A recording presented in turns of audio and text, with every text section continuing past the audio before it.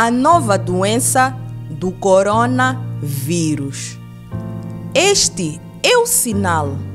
O nome Covid-19. Já recebemos várias informações na rádio, televisão, jornal em todo o mundo. Perda de vidas, informações que sempre, diariamente, recebemos. Como prevenir deste vírus? Primeiro apoio.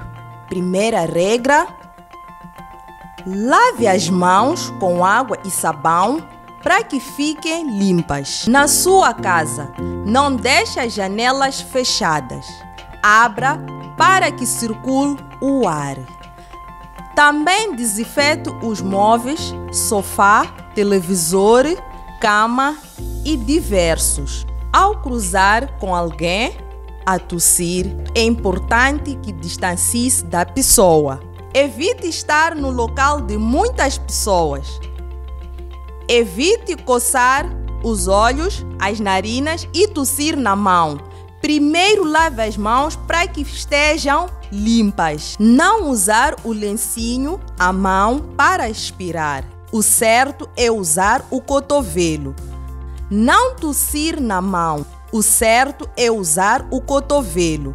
Ao cruzar com alguém, não dê beijinhos e nem abraço. Isto é errado. Saúde a pessoa à distância e vá.